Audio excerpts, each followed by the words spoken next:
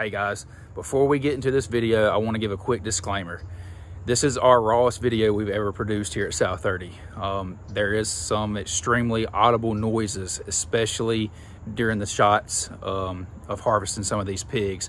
I've done a lot of editing. I've tried to get a lot of the um, disturbing, what I thought to be disturbing content out.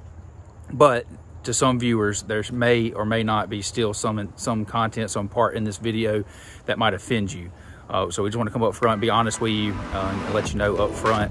Uh, but I hope you enjoy it. We had a blast, and there's many more hog videos to come.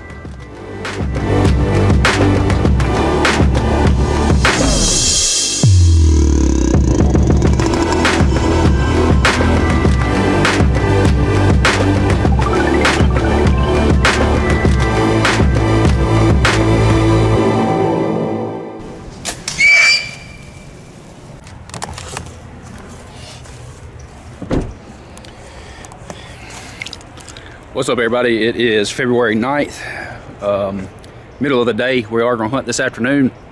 Season goes out tomorrow. However, this is uh, one of our spots that we have, we got last year, two years ago. And you can see all this right here. Some pigs. This place has always produced pigs. You can see where they've came in, come in here. I still got this cold, so you hear me hacking and coughing and chewing on a cough drop.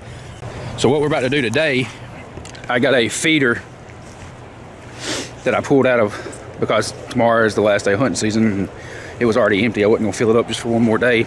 Just went to the feed store. We're gonna put a tripod feeder up here, fill it up with some feed, see if we can start getting the uh, pigs back to daylighting.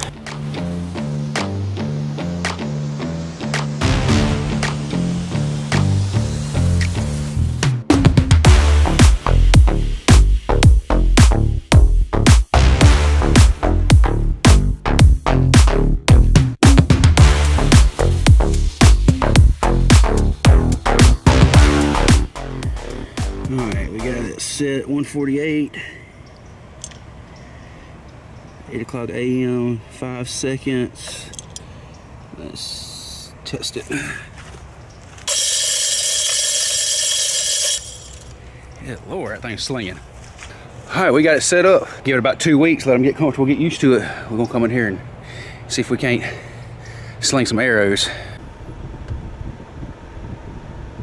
What's up everybody? It is the day after Valentine's Day, February 15th. Just got off work, about to fly down here, hang my saddle set, and one of these pigs, maybe two, is gonna get an arrow tonight. All right, game plan is, it is hot, 77, and it's 403. However, I got a Tactacam in here, been running for, I don't know, week, week and a half. Get that zoomed out. Week, week and a half. the majority of the pigs that are daylighting are coming out uh, 5, 5.15, so I got an hour. I'm not 100 yards from where I'm gonna set up. The wind's perfect. I got an hour, I'm gonna throw my saddle on. I gotta get all my steps and everything out of the back of the truck. I'm gonna run down there, set the saddle up, come back, get my bow, and hopefully we'll be in a tree, mm, 30 minutes.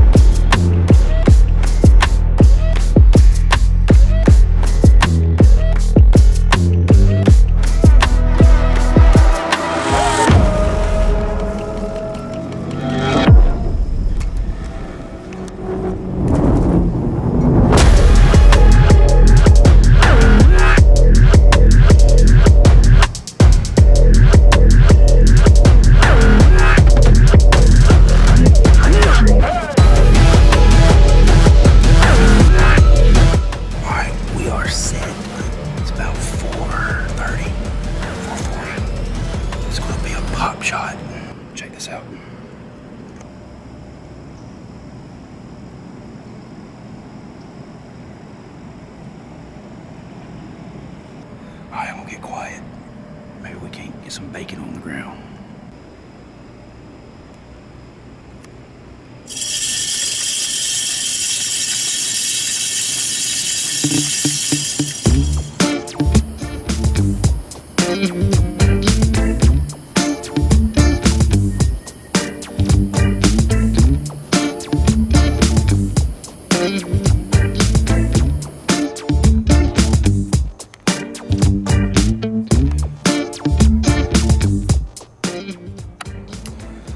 What's up, everybody?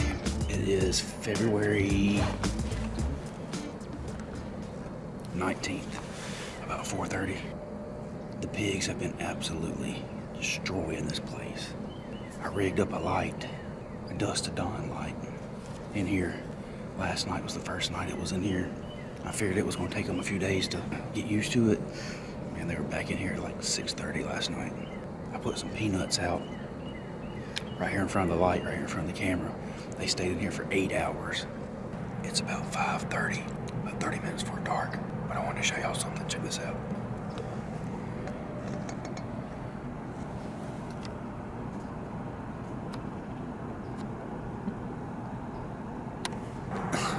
Redneck ingenuity. The light's working. I bought something that goes on my sight. So I'll have backlight and I'll be able to see my pen. Justin was telling me about it. But see, there's my single pen. Check this out. It's about to be a bad day for one of them. Hopefully, two of them.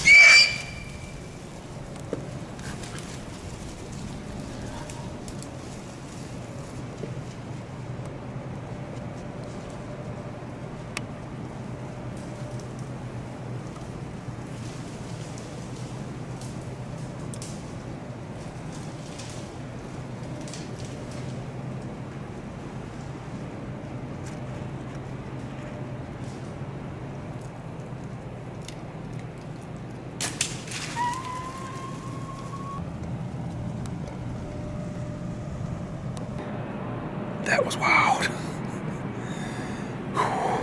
It's like 7.50. I was about to get down because I have to work in the morning. and I could, I've been hearing them for over an hour. They've been in the woods behind me just squealing and cutting up. I just never thought they was gonna come in here on me. I was, and all of a sudden out of nowhere, boom, they came. There was some big pigs in here. That big, big black sow. She's got babies. That's why I didn't shoot her. I wanted to have them.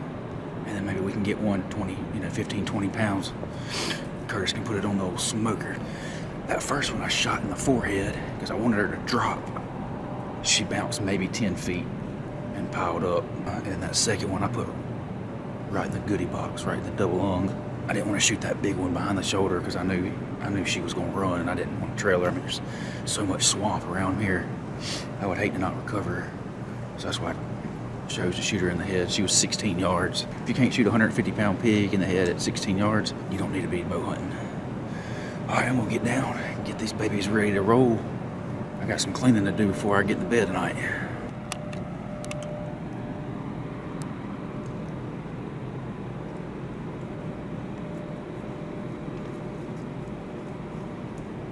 I was literally, literally packing up. I just called Justin on the phone and said, dude, I got two down.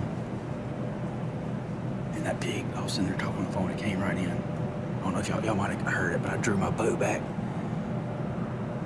But I decided not to. It's getting late and I don't have time to clean three of them. Hell, I really don't have time to clean one. Yeah, two that I got. We are in the hog hole, boys. Boom. Ain't nothing better than shooting pigs. I'm gonna go ahead and get down. I still hear them all out in these woods behind me. They keep coming in all night. I can shoot every area I got up if I wanted to. All right, I'm gonna get down for real this time.